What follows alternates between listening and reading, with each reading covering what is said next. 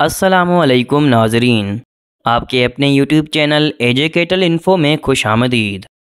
दोस्तों, आज हम पाकिस्तान और हिंदुस्तान की बेहतरीन नस्ल की भैंस के बारे में बात करेंगे। हम जानेंगे कि ये भैंस कहाँ पाई जाती है, इसकी पहचान क्या होती है और ये कितना दूध देती है। तो चलते हैं आज की दिलचस्प जानकारी की ओर। कुंडी भैंस। दोस्तों, कुंडी भैंस दूध देने वाली भैंसों की एक बड़े नाम वाली नस्ल है। जो दूध देने में पाकिस्तान में दूसरे नंबर पर है। इस नस्ल की भैंसों को पाकिस्तान में सिंधी कुंडी और हिंदुस्तान में बनी भैंस के नाम से जाना जाता है।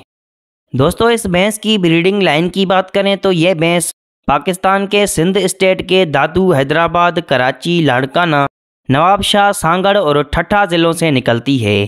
इसी कारण वहाँ इस भैंस को सिंधी मुर्रा भी कहा जाता है।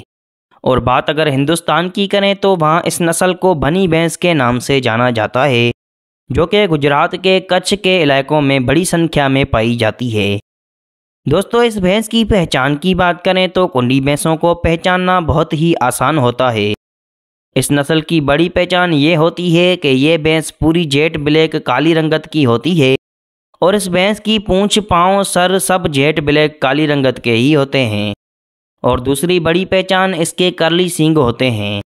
इसके जो सींग होते हैं, वो गोल होते हैं और मछली पकड़ने वाली कुंडी जैसे दिखाई देते हैं, जिसकी वजह से इस भैंस को कुंडी नाम दिया गया है। दोस्तों, कुंडी नस्ल की भैंसों के जिस्म पर वाइट सफ़ेद धब्बे और सीधे सींग इस नस्ल में नापसंदीदा माने जाते हैं, और ऐसी भैंसों की कीमत भी बहुत ही कम लगाई जाती है। दोस्तों, कुंडी भैंसों का माथा चौड़ा होता है और इनकी गर्दन छोटी होती है, और इनके जो कान हैं वो दरमियाने साइज़ के होते हैं। और इन भैंसों के अडर मतलब हवाने की बात करें तो इनके हवाने बड़े और काफ़ी मज़बूत होते हैं। दोस्तों, ब्रीडिंग एज की बात करें तो इस नस्ल के नर भैंसें तीस महीनों में जवान हो जाते हैं, और मादा भैंस छत्तीस महीनों में मुकम्मल जवान हो जाती है। मतलब के पहला बच्चा देने के काबिल हो जाती है। दोस्तों, बात अगर वज़न और कदकाठ की करें तो इस नस्ल के नर भैंसे जवान हो जाने पर 700 किलोग्राम तक के वज़नी हो जाते हैं और मादा भैंस जवान हो जाने पर 600 किलोग्राम तक की वज़नी हो जाती है। और कद काठ में नर भैंसे जवान हो जाने पर 135 सेंटीमीटर और मादा भैंस जवान हो जाने पर 125 सेंटीमीटर तक पहुँच जाती है। दोस्तों, अब बात करते हैं इसके दूध की पैदावार के बारे में। दोस्तों, कुंडी भैंस एक लेक्टेशन पीरियड मतलब एक सुए के 320 दिनों के बीच 2200 लीटर तक दूध देती है, जिसमें छः आशारिया पाँच प्रतिशत से अधिक बटर फैट मतलब मक्खन पाया जाता है।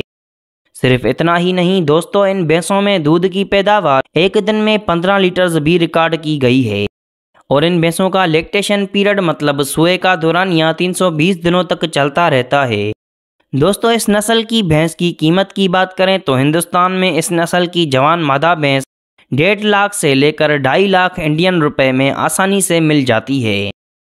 दोस्तों तो ये थी कुंडी भैंस के बारे में दिलचस्प डॉक्यूमेंट्री वीडियो। आपको ये भैंस कैसी लगी, कमेंट करके हमें ज़रूर बताएँ। और वीडियो को लाइक करके चैनल को सब्सक्राइब करना ना भूलें। और अगर आपको आज की वीडियो के बारे में कोई भी सवाल पूछना हो तो बिला झिझक कमेंट बॉक्स में हमसे सवाल पूछें। इन हम आपके हर सवाल का जवाब देंगे। एजुकेटल इन्फो के साथ जुड़े रहिए। आज के लिए इतना ही। मिलते हैं एक और नई डॉक्यूमेंट्री वीडियो के साथ। तब तक के लिए अपना और अपने प्यारों का खूब ख्याल रखें। खुश रहें, आबाद रहें और हमें अपनी दुआओं में ज़रूर याद रखें। अल्लाह हाफिज़।